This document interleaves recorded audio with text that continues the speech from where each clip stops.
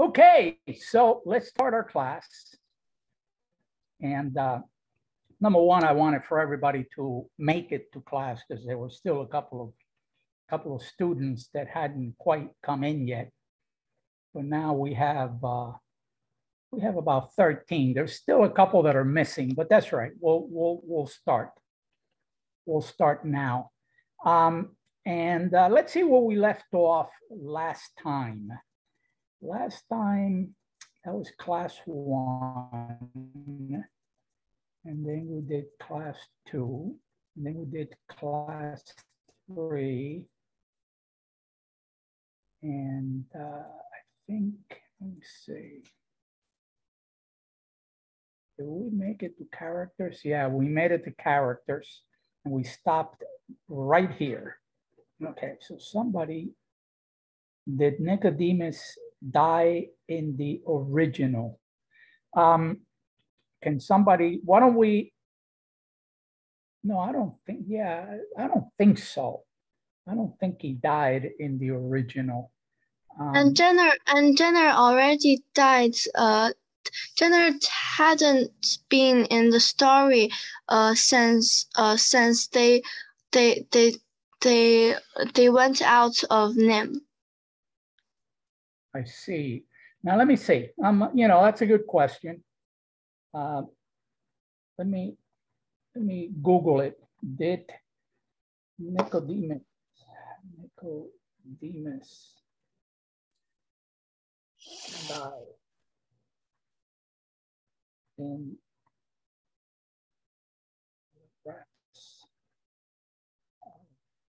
NIMH. Oops.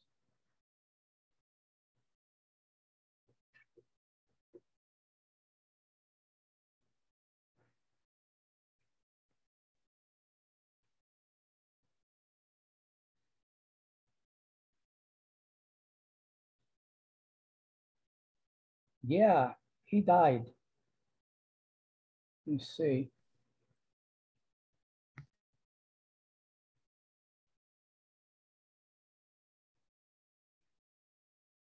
It seems that he died. It says he was next, uh, he was next seen standing on a rock watching the movie, the moving of the Brisby home. Unfortunately, he was unaware of Jenner's plan to kill him until it was too late. Jenner cut the ropes, causing the construction to break apart and crush him. Nicodemus to death. He had sacrificed himself to save Brisby. Um, so, um, yeah. It, in the original my book, it doesn't says this part. It says Nicod uh, at the last Nicodemus still uh, still told everyone to to move to the uh, mountains. Ah, okay. So, um, all right. So let's let's go back. Let's see. Hold on a second. Let me uh, give me a second here. My wire came off of my computer. Hold on. Let me do this.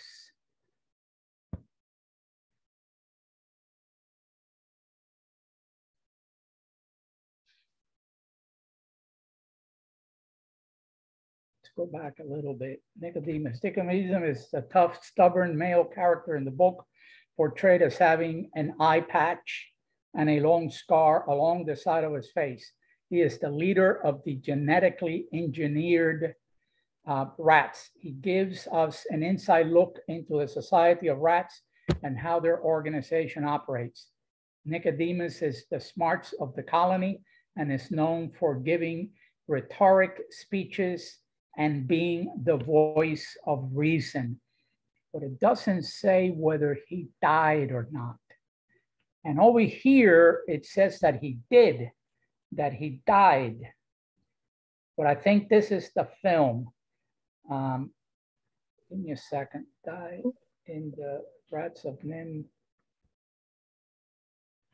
Hold on.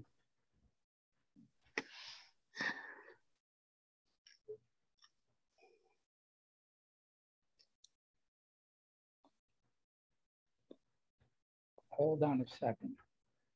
Like in the film, there's many changes. Yeah, hold on. It says Nicodemus was an old prophet in the secret of NIMH. Uh, that was in the secret of NIMH. That's not in the in Mrs. Frisby. That's the secret of NIMH. Let's see over here.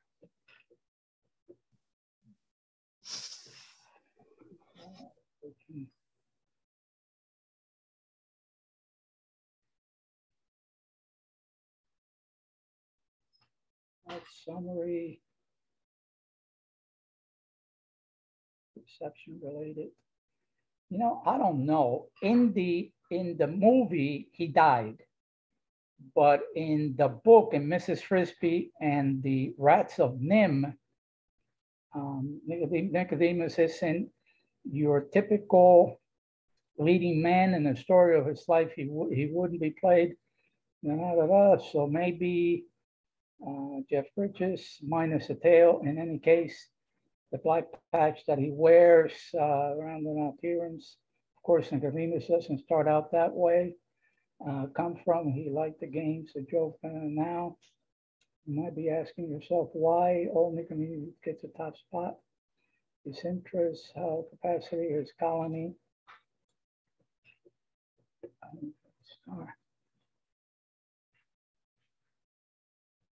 He's the main narrator. Um, he is also brilliant. In addition uh, to being our guide and storytelling, he's also the biggest fan of the plan when Jenner, his oldest and best friend, decides to bail on the plan because he thinks it will be too hard. Nicodemus makes an impassioned plea for the importance of the plan, going so far as to say we're just living on the edge of somebody else's civilization, like fleas and stuff like that. Nobody wants to be thought of, it believes that in order for the rats to have progress, they have to move beyond what's, what everybody else considers rats to be. Um, let's say uh, when they force all he can do is soldier on to find, let's see, I don't think he dies in the book. It doesn't seem that he dies. All he can do is soldier independent will prove itself to be the smartest thing. To find out whether or not that proves true, we'll just have to go read the sequel. Yeah, but there's no sequel. No, you know, in the book, he doesn't die. In the movie, he dies, but not in the book in the book. So is it because is it because uh the movie is the secret of NIMH, not the rats of NIMH? Right, not the rats of NIMH. Right. So the movie is a little bit different from the book, just a little oh. bit. And in the movie they killed him, but uh, in the book he keeps on going. He keeps on fighting. So uh, mm. so there you go. That hopefully that answers your question. Okay, okay. thank you. Yeah, sure, no problems. Now let's uh, let's go back. Let's see what we've covered so far, and we covered all the chapters. Uh, we all the chapter summaries. We covered the characters. I gave you guys a lot of information about things like protagonist, antagonist, uh, the archetypical, the archetypes, uh, the the plot arc of a, of a story, of a movie or a book, or whatever.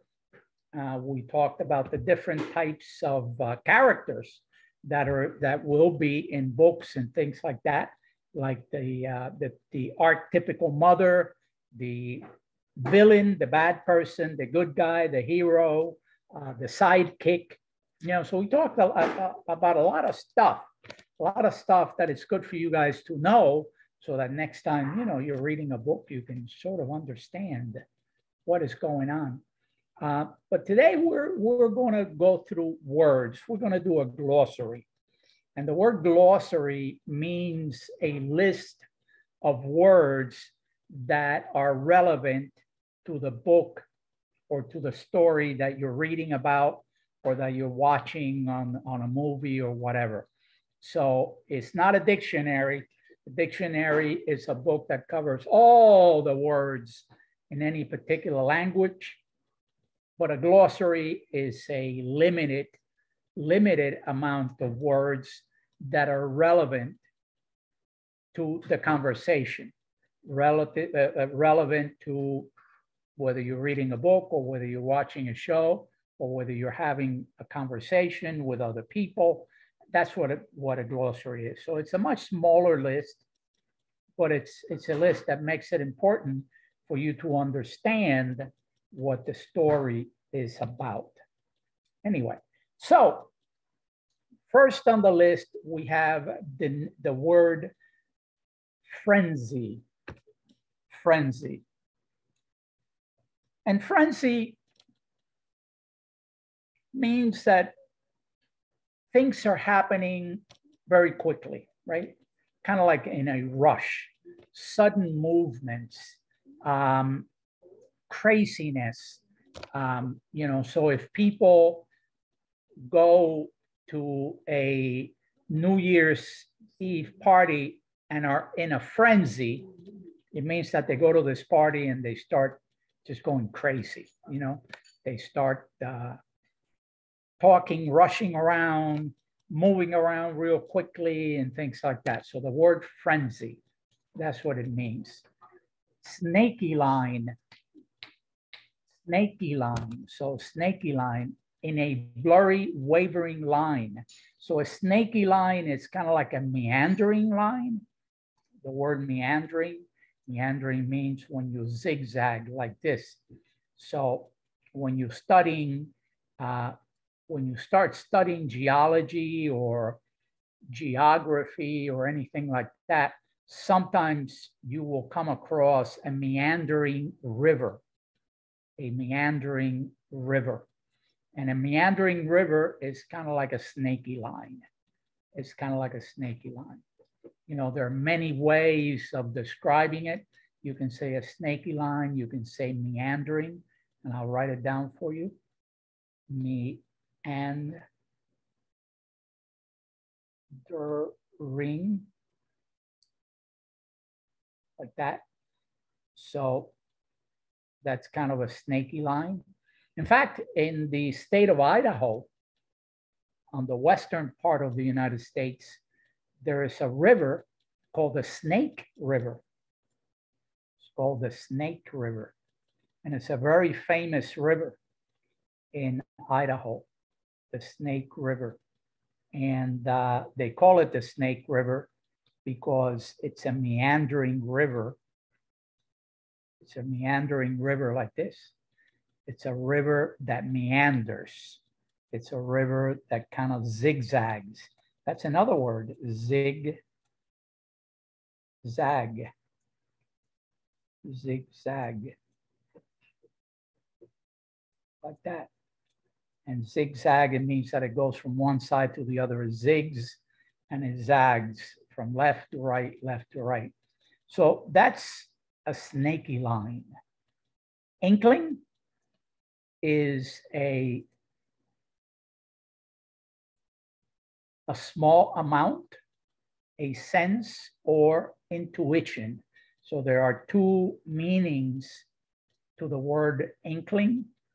And one is a little bitty something, a little small amount.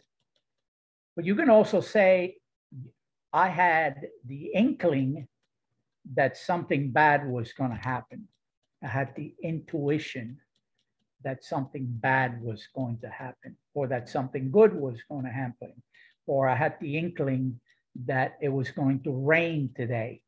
So, inkling, the way that it's most commonly used is that it's intuition. In other words, you get a thought in your mind that says something's going to happen and you're not quite sure what it is. Um, and that's usually the most common way of using the word inkling, even though you can also say a small amount, an inkling of bread, an inkling of milk, or something like that. So those are the two words. But again, as I say, the intuition is the, the way most likely that it will be used. Plowed. So the word plowed, the word plowed comes from, the word plowed is either, it can be a noun or it can be a verb. It can be used both ways. Uh, you can say a plowed field or I plowed the field. And it comes from the word plow, plow. And plow is also a verb and a noun. So the farmers, they plow the field. They plow the field and they use a plow. they use a plow. They use a machine that um, they use a machine, they have a tractor. In many cases, they have this big tractor, right? Like this. And then the farmer sits up here driving the tractor. And behind the tractor, there is a machine. There's a machine that has blades, that has these big, big blades like that, right? And has many of these, many blades, usually four or five rows of blades, right? And as he pulls this machine, these blades go into the ground and they dig, not a hole, but they dig a canal. They dig kind of like a canal. So dirt goes on one side over here, dirt goes on this other side over here, and this part will be deep, maybe four inches, you know, which is what would that be? That would be like, you know, 10 centimeters. They use the trench. They throw yeah, seeds into the trench, like trench, right? They, yeah, it, the, the plow makes a trench. That's a very good word, trench. It creates this and trench. The, the farmers throw seeds into the trench, right? Right. So the, the plow creates a trench and then the farmer throws seeds in there the, the farmer puts seeds in there, covers up the seeds with the dirt, and then four or five months later, something grows.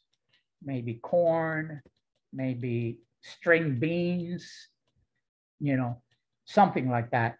Potatoes, but the only thing potatoes grow inside of the ground. They're more like a root, you know, they're more like a root. So this is a plow as a noun, right? But it's also to plow, which is a verb. So you can plow something, to plow. So you can say, I plowed the field, right? I plowed the field. I uprooted the ground so that, and created a trench so that later we can put seeds. And, and thank you, that's a very good word, trench. I couldn't think of it. I was thinking canal, but it's not a canal, right? A canal is much bigger. In the lee. Now, in the lee, this is what's called a, an idiomatic in the expression. shelter. Huh? In the shelter. Yeah. Um, so in the lee means in the midst of something or in a specific area.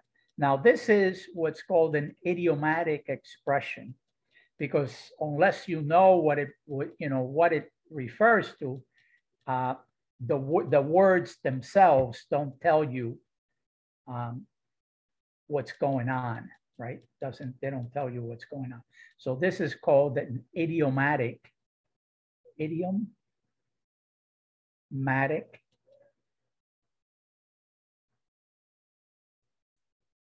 expression. Or an idiom, you can also say an idiom expression, right? So this is an idiomatic expression or an idiom that says in the midst of something. So in the lee, in the midst of something. Now, it's not very commonly used. I haven't heard it used in many, many, many years. And that's because um, when this book was written, you know, was many years ago. And expressions, you know, they kind of they kind of go away after a while. Now, the word skimming, uh, which means to graze or to lightly brush. So, um, so I, let me see if I can give you an idea. To lightly go over the surface of something. So let's say that you are in a motor boat that is a catamaran. And I don't know whether you know what a catamaran is, but a catamaran is a boat that skims the surface of the ocean as it sails. It doesn't touch the water so much, it just barely skims it. It barely goes over the top. Uh, what's one of the longest books you have read? Oh my God. Or no, Harry Potter. Yeah, you know, Harry, Harry Potter is pretty big. Uh, but uh, what about the, uh, uh, the Lord of the Rings? That's a really big book. The, uh, the Hobbit, and then the follow-up, which was the Lord of the Rings. That's a three-volume book and I read it many years ago. I read both The Hobbit and The Lord of the Rings. Um, yeah. The Miserables is another one. Yeah, absolutely. Those are really big, big books. Anyway, so that's what skimming is. It's just barely touching the surface, barely touching the surface. Um, so those are some of the expressions that uh, that are used in the book that perhaps, you know, maybe you really don't know much about. Um, and again, as I say, Robert C. O'Brien, which that was not really his name, but nonetheless, that was the name that he used when he wrote um, wrote the book many years ago. And a lot of those expressions are just not no longer around. They're just no longer around. So let's uh, let's go into the next section, section, which is themes. And themes are ideas or messages in a book that are reoccurring. The message the author wants to send through a book. That's right. It's the the message that the author wants to give you they are reoccurring, you know, they happen over and over again so that you kind of get the message of what it is all about. Right? So let's look at some of the themes that we see in the book. Number one, the word pers perseverance. Does anybody know what the word perseverance means? What does it mean? Does anybody know what is what is perseverance? Does it mean Not giving up. staying tough and doing what you should do? Well, perseverance means not giving up. Not giving up, continuing no matter what. Um, so you persevere, you don't give up, and it's kind of like the saying. There's a there's an old saying that the teachers used to tell us all when I was a kid. And they, they used to say, if at first you don't succeed, try and try again, right? If at first you don't succeed, try and try again. So if at first you don't get something, you're not able to accomplish something, don't give up. Just keep on trying because eventually you're going to be able to accomplish it you know, eventually you're going to be able to accomplish it. So this is one of the messages that the author wanted to tell us about uh, with his book, right? And that is persever- perseverance, not giving up. A common theme from Nicodemus' point of view is perseverance. When he and the other rats get trapped by the scientists that are looking to genetically modify them Nicodemus never gives up hope. He never gives up hope and is always trying to find freedom. The book always portrays him as constantly trying to get out of the cage and getting out into the open world. This is the advantage of being a rat, since rats have been through such hard times in society and have learned to cope. Give me a second here. I got to get rid of this little floating thing. Through such hard times in society and have learned to cope with these kinds of hard situations. But Nicodemus didn't allow the hard situations to discourage him, get him to stop or give up. He persevered. He continued and continued and continued until he succeeded. If at first you don't succeed, try and try again. Stereotypes in society. Now, this is very important because a stereotype is when we think that somebody represents everyone else, right? You have in your mind a stereotype that girls are not strong. So you say, oh, girls are not strong. And that means that this girl here, she's not strong. All the girls in the world are not strong. But that's not true. There are girl athletes, right? Girls who are great tennis players, girls who are great runners, girls who can even lift weights, right? And that's a stereotype. And in society, a lot of people have stereotypes. You know, they say, um, well, if you if you're tall, you know, you must be a good leader because tall people make good leaders. Well, that's not true. I've known tall people that are really not good leaders at all. Um, or maybe you say the opposite. You say short people don't make good leaders. But I've known some shorter people who are great leaders. Right? I mean, think in history, Napoleon, Napoleon Bonaparte, the French general who created such problems in Europe because he wanted to take over Europe. He was short. He was only five foot seven. And the soldiers under his command were tall.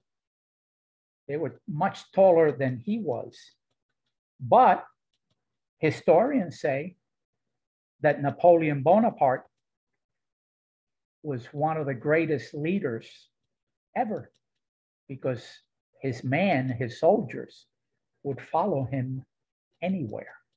So a stereotype is when we think that just because one person is something, everybody that are like this person do it the same way. Right? So, and we don't want to do stereotypes. Um, we don't want to stereotype anyone.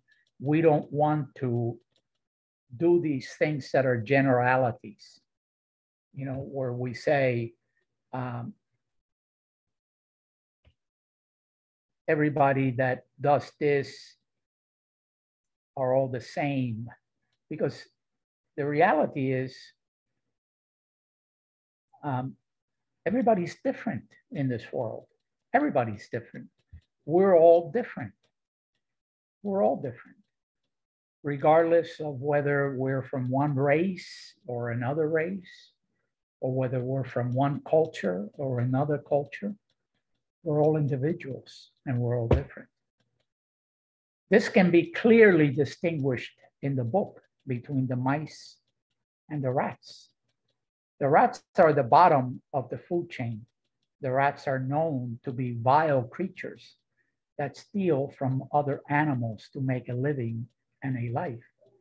Rats are commonly associated in the book with a pest, such as fleas, Mice, on the other hand, are more civilized and less inclined to involve themselves in dangerous situations. They're always hiding from predators, but successfully making a living and are content in their home lives. So the book sort of stereotypes. But of course, when you stereotype animals, that's a little differently, right? That's a little differently because animals do behave pretty much the same, right?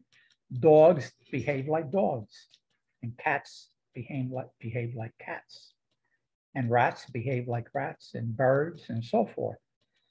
But when we think that humans have that same quality, have the same quality all the time, that's when we that's when we have problems. And that's when we begin to stereotype people in society. And we really should not do that. Language and communication. We're guessing that since you're here, you probably care about reading a lot. But do you care about it as much as the characters in Mrs. Frisby and the Rats of NIMH do? For Nicodemus and company, reading is about much more than simply learning a story. For them, reading provides them with hope and eventually the means to escape from NIMH and all its horrors. Still, even though reading gives them so much, it also proves to be a burden to the rats as they realize that their new knowledge and skills mean that they will never fit in with others of their kind again. Knowledge may be power, but it can be a bummer too. You know, yeah, I think that for the rats, them being the only ones that are intelligent might not be that good because they're going to come across other rats that are not as intelligent as them and they're never going to be able to fit in. However, for us, for humans, that's a totally different thing. For us, learning is important. It's important in many ways. Number one, when we learn, we know how to solve problems, which the rats did, right? They solved a lot of their own problems. And humans, we're the same. We need to be able to learn in order to solve problems. This is what's called critical thinking. And I'm going to write it down for you. Critical thinking. Critical thinking. And critical thinking, we learn to think critically, meaning that we can make decisions. We learn to think critically by reading a lot and by learning a lot learning about all kinds of different subjects, learning about math and science, and especially history, learning what happened in the past, what's happening right now, and then trying to figure out what's going to happen in the future, right? Um, critical thinking is a very important practice. And uh, Doctors, for instance, they do critical thinking when they're trying to cure you of a disease. Doctors use a method called deductive reasoning. Called deductive.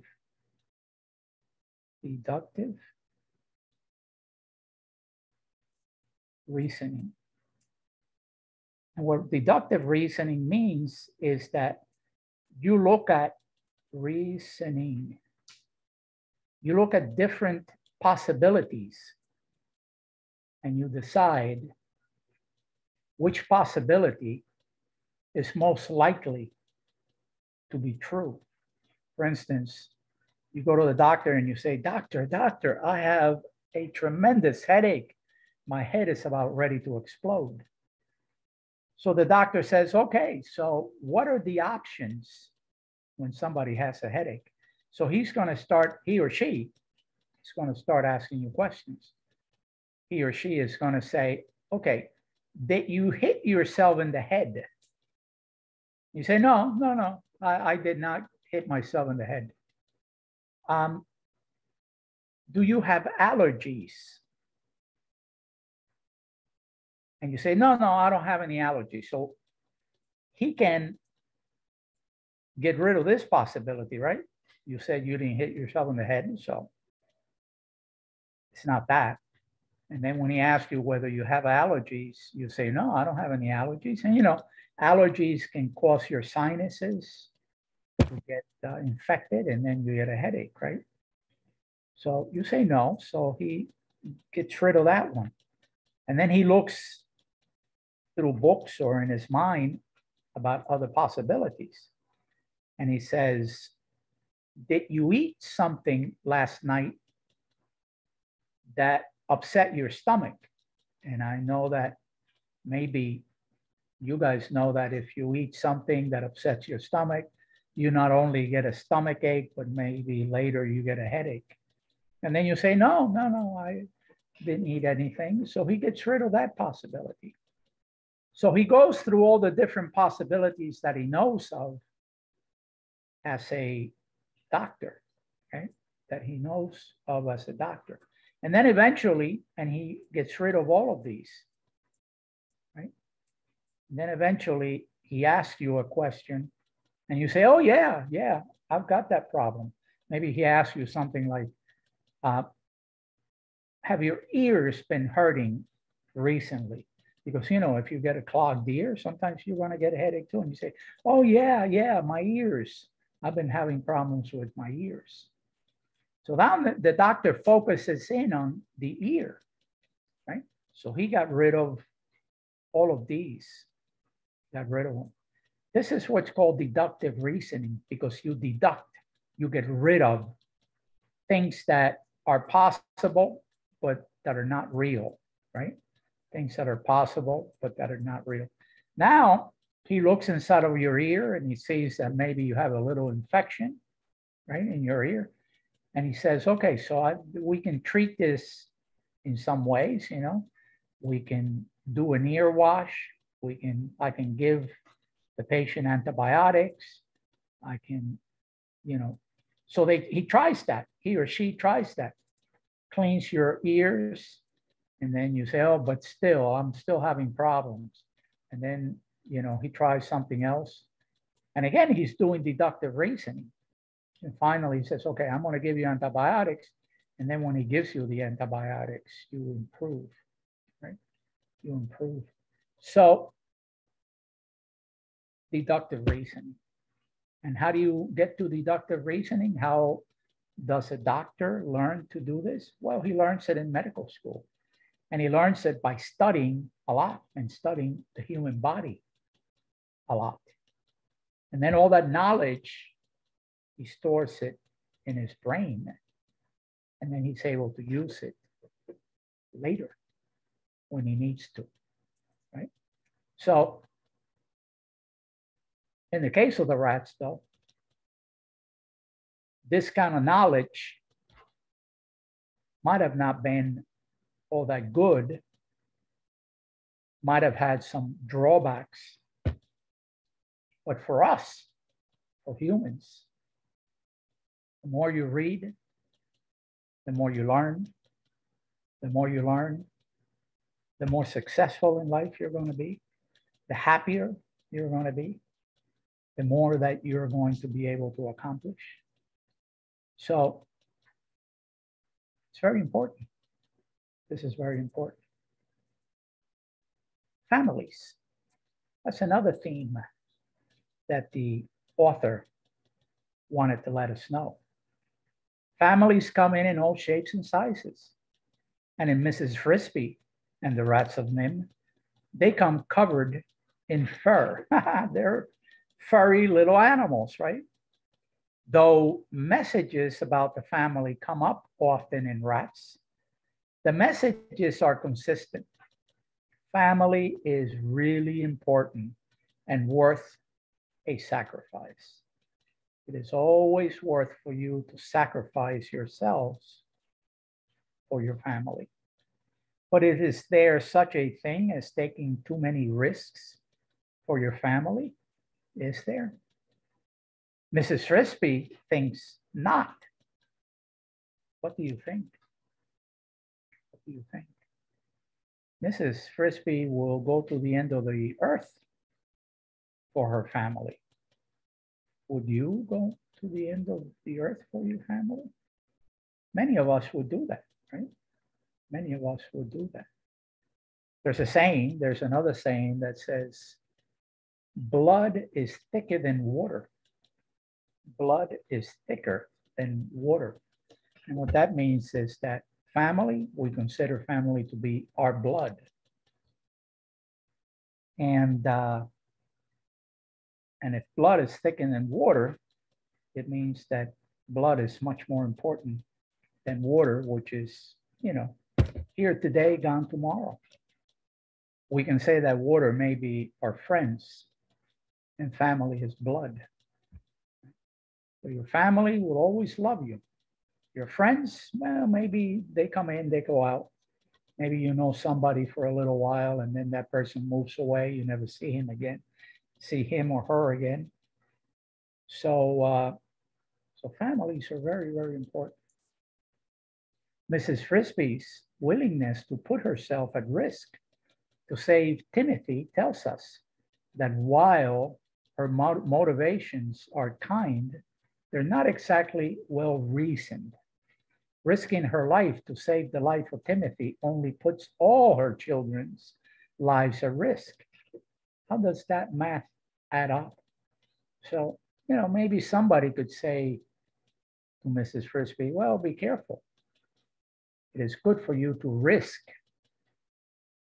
for Timothy, take some risk for Timothy, but make sure your other children don't suffer the consequences. But still, if you're a mother or if you're a father, you know, you're really not going to care about that. You're going to give your life for your children. And even for one child, you're going to give up your life.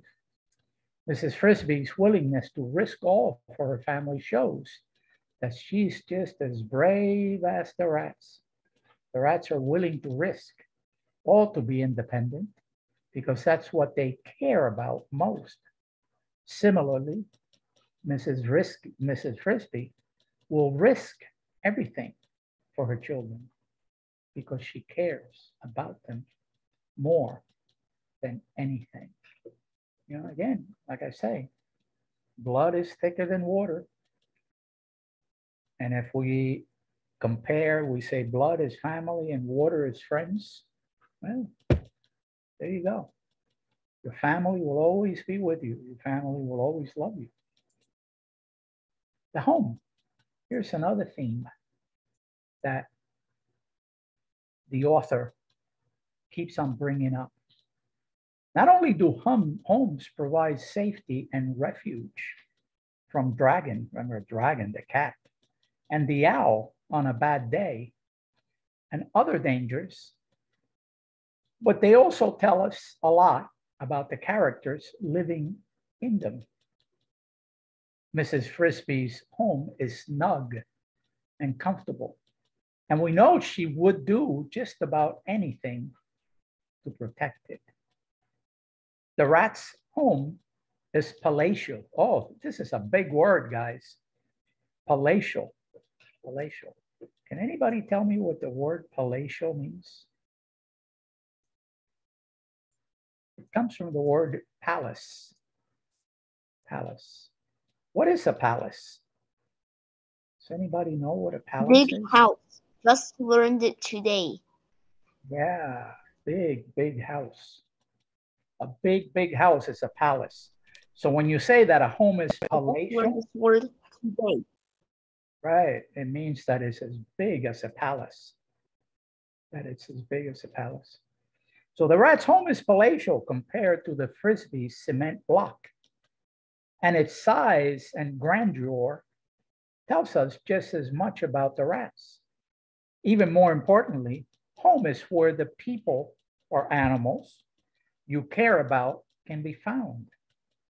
And all of the characters in Mrs. Frisby and the Rats of NIMH would do anything to protect those they love, to protect those they love. Home, right? There's another saying. Home is where your heart is. Home is where your heart is, right? Your love, your heart, your feelings, everything that you see is good is in your home. It's in your home. So home is where the heart is. In Mrs. Frisby and the Rats of NIMH, homes tell us something very important about the characters who live in them, what they hold most dear, even though the cinder block is cozy and homey. Cozy, right? When you get in the bed and it's a cold night and you put the blanket over you and you become all cozy and warm, right? And the rat's burrows are impressive in the novel. Home is much more about the relationship of the characters than about the physical space they live in. And that's why they're saying home is where the heart is. Because the house, the house is not a home. A house is nothing. A house, if it's made out of wood, is a bunch of pieces of wood that get put together with a roof, right? And a kitchen and windows and stuff like that. A house but is a building you live in. A home is where you live. Yeah, the home is home where your is more right. The home is where your family is. The home is where your family is. The satisfaction. Mrs. Frisby and the Rats of NIMH the satisfaction is the feeling that propels the whole plot forward. Right? Why? Because the rats are dissatisfied. Satisfied, dissatisfied. So if you're satisfied, you're happy. If you're dissatisfied, you're not happy, right? Here's the thing the rats could have covered their heads with their blankets and ignored those nagging feelings that something is dreadfully wrong in their lives. But the I think the thing is that they're stealing a lot of things. All their electric electricity is coming from the Fitzgibbons house. Yeah, okay, good. That something is dreadfully wrong in their lives. But does that sound like the rats we know from this book? Not in the slightest. After their escape from them, the rats experience feelings of the satisfaction when they begin to understand both that they have been changed forever and that their old way of living is based on stealing from others. And that dissatisfaction drives them to take charge of their lives. Right? Once they realize this, then they take charge and they say, from here on out, we're going to be the boss. We're going to do what's right for us. Civilization is pretty tricky in this novel. Sometimes it's positive, but sometimes it's the very thing that causes characters to hurt one another the most and to feel the most dissatisfied with life. O'Brien uses dissatisfaction as a way to teach us something about the characters in this novel. The very best characters are the ones who use this satisfaction to their own benefit. So, and this is part of conflict, right? I think I told you one time, or maybe I didn't, I'm not sure. But in fiction, in novels, for novels to be exciting and to be um, something that gets us wanting to read and read and read is when there are when there is conflict, when something is happening. And I'll give you an example. Let's say you're reading a book about five high school kids that are sitting in the canteen, you know, in the cafeteria, and they're having lunch. And they're having a conversation. And it's a conversation about just stupid things, you know. So Johnny says to Mary, "Hey, Mary, how you doing?" Mary says, "Oh, I'm doing okay, Johnny. What about you?" "Oh, I'm doing fine. What did you do this weekend?" "Oh, me and Tommy, we went, uh, we played uh, softball." "Oh, very nice." And they keep on talking and talking, and they spend an hour talking about real trivial, not very exciting things. Do you want to read that book? Or would you get bored with it after a while? If I'm reading that after about 20 or 30 minutes of reading it, I want to throw the book away because it's boring.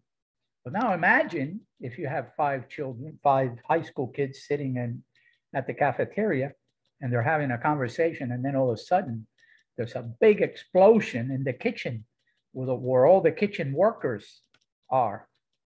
Boom! Huge explosion. And a fireball comes out, and the entire school starts burning. And everybody runs for the door. But Mary, she says, No, I can't let the people in the kitchen die in the fire. So she runs into the kitchen and she starts dragging people out one at a time. And she saves six or seven different workers. Now that's conflict. She faced conflict, and the conflict was a human against some natural thing in the environment, right? Maybe a gas leak in the kitchen caused the explosion. Right?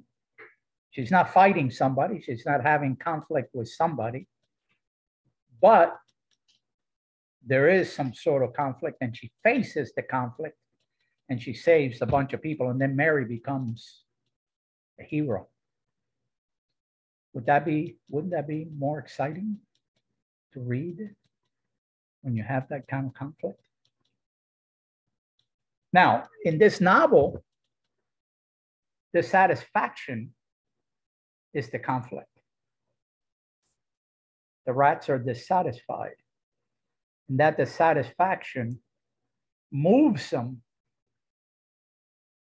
to do something, to move the novel forward. Because otherwise, they would just sit there eating their little garbage every day and nothing would really happen. But that bit of dissatisfaction, whatever they are dissatisfied about, is what moves the plot forward, what allows us to see the cats, uh, the rats, the best one of the rats, take on the conflict and try to overcome. And that moves the plot forward, right? So the worst thing you want to do is read something that is bland that there's no excitement, that there's no conflict, that there are no problems. But when we read something that there is some sort of conflict, some sort of problem, and you have one hero or one person or a group of heroes that want to take on that conflict and try to do good for everyone else that's when we that's when we appreciate a book a novel, a story, a narrative, whatever it is that we want to do. Sacrifice. Not to rag on humanity or anything. Okay, maybe a little bit. But if people could be a little more like the animal characters in Mrs. Frisby and the Rats of NIMH, there might be more good news every day in the morning paper. It's not so much that the characters here are nice all the time. Because who wants to read about that all day long? Everybody's nice. Everybody's nice. Well, maybe we don't want to read about that all the time. Is that they have a strong moral code, which says that if someone has made a sacrifice for you, it is your responsibility to pay them back with a sacrifice of your own. That's also how the plot moves along, too, right? So the plot, this is another bit of conflict, right? And that is that when something bad is happening, somebody among the group sacrifices of himself or herself to help everyone else. Mrs. Frisby helps Jeremy. Jeremy helps Mrs. Frisby because Jonathan Frisby's helped the rats. The rats will help his family, and so on and so forth, in a long chain of furry animal goodwill that is downright heartwarming when you really think about it. These characters are always making sacrifices for each other. And sometimes it feels kind of unrealistic that they would do so much for someone else. The only way that the characters can survive in this dog eat dog or cat eat mouse world is through a willingness to sacrifice him or herself for the greater good, right? for the greater good. Let's do one more and then we'll, we'll stop. Identity. What is identity? What is your identity? What is your identity? Is your identity your name only? Or are there other factors in your identity? Are you a student? Are you a mother? Are you a father? Is that part of your identity? In Mrs. Frisby and the Rats of NIMH, the animals have no choice but to figure out who and what they are. The rats need to figure out how to live with their new super abilities, and Mrs. Frisby and her kids learn some surprising secrets about their family. Does identity mean figuring out, out life? No, it's identity is about you. It's about who you are. About who you are. So, you know, if you're driving or you're walking and then a police officer comes and says, let me see your identity card. Well, your identity card is who you are. Is who you are. Your name, where you live, what school you go to. Right? That's called an ID card, identity card. So identity is about you, it's about who you are. Which is all well and good, except for the fact that figuring out who you are and where you belong in the world is hard work. Sometimes we don't know who we are. We don't know where we fit. Okay? We don't know where we fit in the world. And as we grow older, we begin to figure all of that out. We begin to say to ourselves, I want to be a doctor. I want to be a nurse. I want to be a teacher. I want to be an engineer. And then that becomes part of your identity of who you are. The rats alternate between liking who they've become and feeling tormented by it. Mrs. Frisby, similarly, has to come face to face with the fact that her husband kept a big secret as well as the fact that she is much more than just the sad old widow she thought she was. Figuring out who you are is a real pain. It's very difficult. The rats spend too much time worrying about this when really they should just be focusing on survival. Even though it is painful for them, figuring out where they, where they belong and what type of life they want allows the rats to live up to their full potential. Okay, so let's leave it right here and we will pick it up again next time. So, uh, you know, this is a good time to say something, to tell us what you think, to give us your opinion. So we're going to say here that this is class six. Class number six. And uh, so what do you think? What do you think? What kind of conflicts do you see in Mrs. Frisby and the Rats of NIMH? What are the conflicts? Who are the protagonists? Who are the antagonists? Is the cat an Um, antagonist? Uh, I think Nicodemus is kind of like Professor Dumbledore. Say again, speak a little louder. I think Nicodemus is kind of like Professor Dumbledore from Harry Potter. Yeah, yeah. I agree. I agree. That's a very good observation. Yes, a very good observation. Okay, so it was great seeing all of you again. And uh, in a couple of days, we'll continue. We still have a lot of stuff to talk about with Mrs. Frisby and the Rats of NIMH.